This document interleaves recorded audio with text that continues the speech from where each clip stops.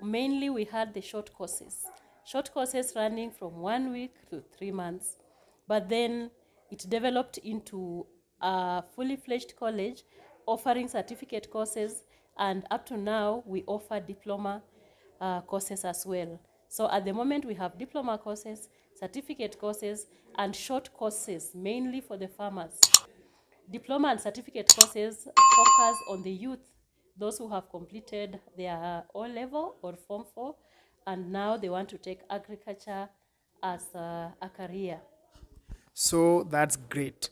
And now maybe my question would be currently we're moving in a in a very and let's say the weather is very erratic and there's this concept of climate change. I don't know how you've tuned your your programs to to fit adaptation and mitigation of climate change, especially now that you major in agriculture. Thank you very much.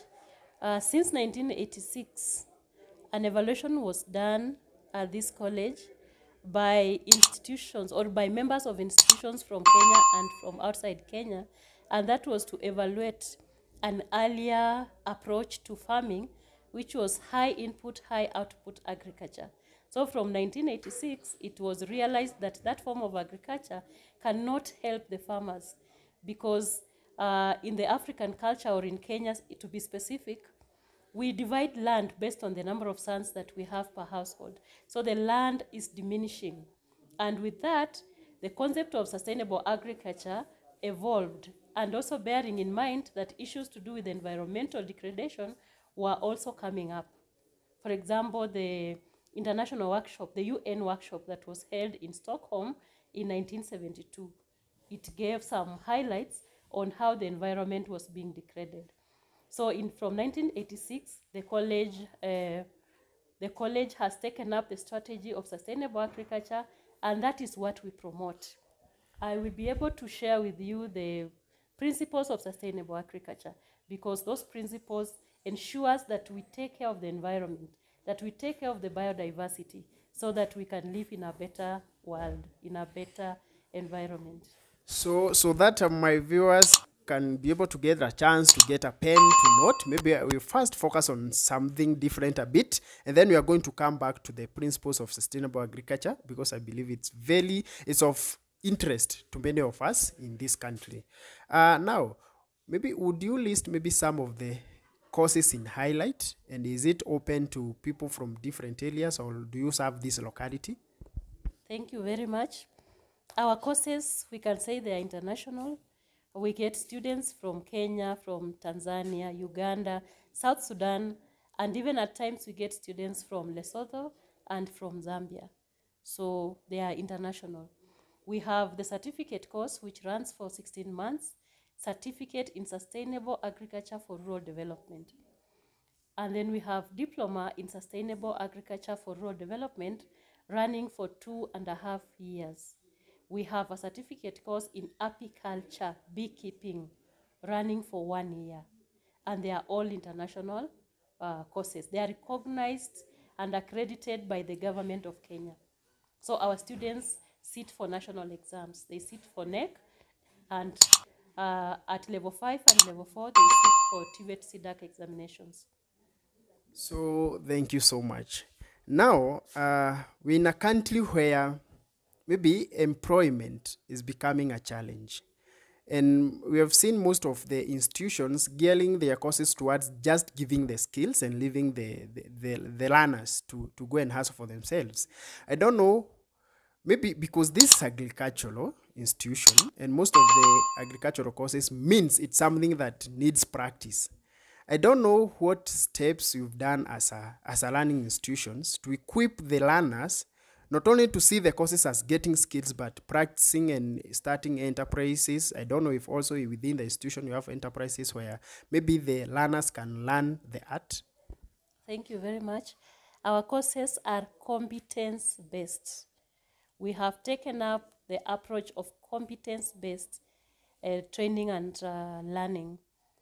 So in our courses, we ensure that the students, yes, get skills, but they also get knowledge, and we train them to have a positive attitudes towards agriculture. In our curricula for sustainable agriculture for rural development, we have, uh, yes, the key skills like in crops and livestock, but we also train in businesses so that this person can be able to start enterprises. And apart from training, we have enterprises on the farm where the student will keep on learning while he or she is here in the college. We have dairy farming, we have uh, horticulture, we have poultry, we have piggery, we have beekeeping as an enterprise within the college, we have a tree nursery. So these uh, enterprises, while they generate income for the college, there are also facilities for students to learn.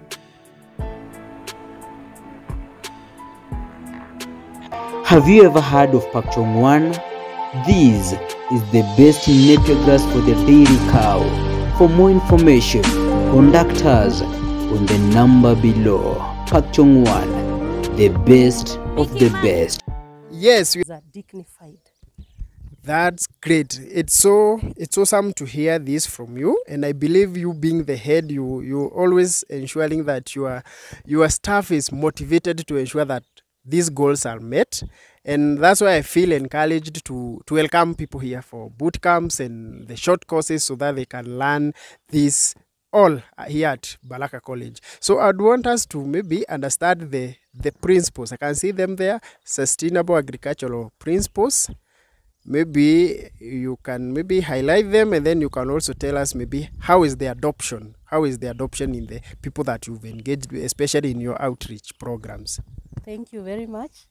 We have eight uh, principles that we believe if farmers are adhering to these principles, then we can say yes, they are practicing sustainable agriculture. Number one is soil fertility. For us to be able to have an agriculture this year, 50 years to come, and 100 years to come, then we have to maintain our soils. We have to ensure that the soils that we use are not depleted. How can we do that? By ensuring that we enhance the soil nutrients. And we can do that by using what comes out from the animals as wastes. We can also decompose the uh, crop residues and maintain our soil fertility. We also need to uh, we need to control soil erosion. If we control soil erosion, we still maintain our topsoil. Those are some of the measures that we can use to enhance our soil fertility. Number two principle is natural resource management. Managing the resources that we have, the God given resources. And an example of this, we have water. How do we utilize this water? How do we manage this water? Biodiversity is another uh, natural resource. Because, for example, we require insects like the bees to be able to pollinate the crops so that we have better production. So, taking care of the biodiversity, the richness of the living organisms that we have on earth. Then, number three, yes, we are looking at biodiversity, which I have uh, explained partly. And number four is integrated pest management. Uh, if you look at the world today, you realize that uh, there is so much pollution that is taking place because uh, when people, uh, when the crops are invested by pests, what people run for are the pesticides. But these are destroying the environment. So in our case here, we embrace integrated pest management. Let us use uh, the cultural methods. For example, we can do uprooting. If we realize that there is one plant in the farm that is affected by a disease, we simply uproot that plant. We can also decide to use uh, biological means. For example, we have uh, pests that are good and pests that destroy. So you can get those pests that are good for the environment or good for the people to be able to feed on those destructive pests. And that will not harm the environment. So that pesticides remain as the last solution. Yeah, that way we'll take care of the environment. Maybe a question. Would with this integrated pest management i've seen out of climate change we, ha- we have now very new very new maybe in maybe pests which farmers were not used to. Could it be that this integrated pest management would help us to adapt? For example fall armyworm was not a common threat some years back but currently it's one of the the very dangerous or impediments of agriculture. Would you say, be, like, if we really adopt this integrated pest management, would be able to produce healthy, healthy foods?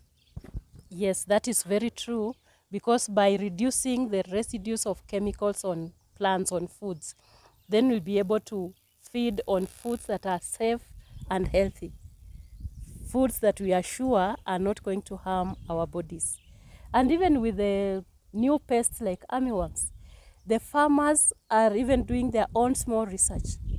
And from a few farmers, I realized that they simply suffocate that pest and the pest dies by using either uh, either ash or soil itself. They simply take the soil and fill on top of the maize, and then uh, that soil will suffocate that pest.